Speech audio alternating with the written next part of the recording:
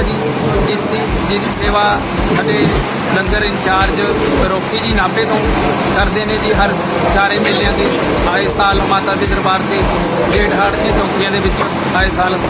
ਇਹ ਲੰਗਰ ਜਿਹੜਾ ਹੈਗਾ ਕਮੇਟੀ ਕਲਰ ਕੋਟ ਵੱਲੋਂ ਜਿਹੜੇ ਕਿ ਸ਼ੀਤਲਾ ਮਾਤਾ ਪ੍ਰਬੰਧਕ ਕਮੇਟੀ ਦੇ ਮੈਂਬਰ ਨੇ ਪ੍ਰਧਾਨ ਨੇ ਉਹਨਾਂ ਵੱਲੋਂ ਲਗਾਇਆ ਜਾਂਦਾ ਲੰਗਰ ਦੀ ਸੇਵਾ ਕਰਨ ਦਾ ਜਜ਼ਬਾ ਤੁਹਾਡੇ ਵਿੱਚ ਰੋਕੀ ਜੀ ਕਦੋਂ ਆਇਆ? ਇਹ ਮੈਨੂੰ ਬਹੁਤ 25 25 26 ਸਾਲਾਂ ਦਾ ਐਕਸਪੀਰੀਅੰਸ ਹੈ ਜੀ ਇਹ ਮੈਨੂੰ। ਮੈਂ ਅਕਸਰ ਇਹ ਧਾਰਮਿਕ ਕੰਮਾਂ ਦੇ ਵਿੱਚ ਬਾਲੇ ਬਾਲੇ ਜ਼ਿਆਦਾ ਸੰਬੰਧ ਰੱਖੇ ਨੇ। ਤਾਂ ਕਿ ਮੈਨੂੰ ਜਦੋਂ ਮੈਂ ਕਲਰਕੋਟ ਧਰਤੀ ਤੇ ਪੈਰ ਪਾਇਆ, ਉਦੋਂ ਦੀ ਮੈਨੂੰ ਇਹ ਕਲਰਕੋਟ ਕਮੇਟੀ ਨੇ ਮੈਨੂੰ ਸੇਵਾ ਦਾ ਮੌਕਾ ਦਿੱਤਾ। ਮੇਰੇ ਨਾਲ ਸੇਵਾਦਾਰ ਜੁੜੇ, ਪਿੰਡਾਂ ਦੇ ਬਹੁਤ ਸੇਵਾਦਾਰ ਜੁੜੇ। ਅਸੀਂ ਚਾਰੇ ਮੇਲਿਆਂ ਦੇ ਵਿੱਚ ਜੇਠ ਹਾੜ ਦੇ 24 ਘੰਟੇ ਦੀ ਲੰਗਰ ਦੀ ਸੇਵਾ ਲਗਾਉਂਦੇ ਹਾਂ ਅਟੁੱਟ ਲੰਗਰ ਚੱਲਦਾ ਜੀ। ਲੰਗਰ ਦੀ ਕੋਈ ਘਾਟ ਨਹੀਂ ਇੱਥੇ ਜੀ ਪਾਣੀ ਨਾਲ ਪਾਣੀ ਆ।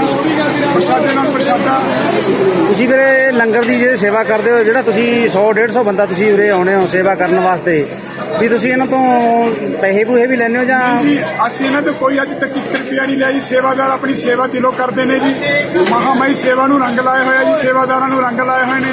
ਕੋਈ ਨੌਕਰੀ ਤੇ ਲੱਗਿਆ ਹੋਇਆ ਜੀ ਕੋਈ ਕਿਸੇ ਦਾ ਕੁਛ ਬਣ ਗਿਆ ਜੀ ਕਿਸੇ ਦਾ ਕੁਛ ਹੋ ਗਿਆ ਮਹਾਮਾਈ ਨੇ ਸ਼ੀਤਲਾ ਮਾਤਾ ਨੇ ਰੰਗ ਲਾਏ ਹੋਏ ਨੇ ਜੀ। ਬਹੁਤ ਵੱਡੀ ਸ਼ਰਧਾ ਹੈ ਜੀ ਪਿੰਡਾਂ ਪਿੰਡਾਂ ਦੇ ਮੁੰਡੇ ਬਹੁਤ ਜੁੜੇ ਹੋਏ ਨੇ ਸਾਡੇ ਨਾਲ।